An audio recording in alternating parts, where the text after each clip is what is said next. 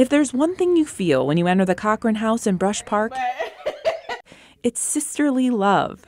That's Roderica and Francina James. We caught up with them last year, sharing how they renovated a 19th century mansion to create a luxury bed and breakfast right outside Comerica Park. So this room has a small balcony out back.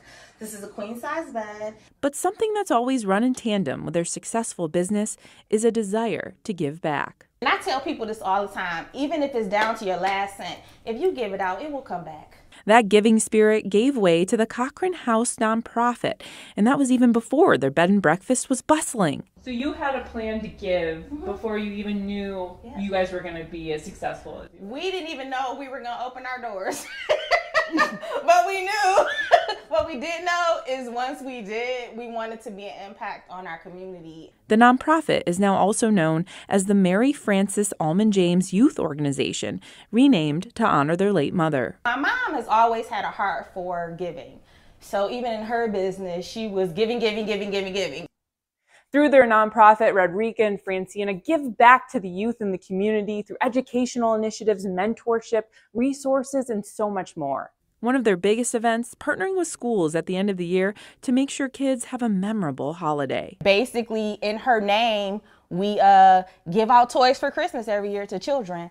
Last year, so 2022, we were able to service 41 families and 107 children. And they're not just focused on their own nonprofit, they have a plan to lift up other local nonprofits too, teaming up with Monica Marie Jones Coaching to really make a difference this year. Local grassroots nonprofits that we've chosen for them to come into our space, talk to the women here, um, raise funds for the things that they need. The sisters already have 10 events scheduled at the Cochrane House to help garner support for local nonprofits. I mean, we want to be here for them because everybody is here for us. Mm-hmm. And I think that that's what we appreciate the most.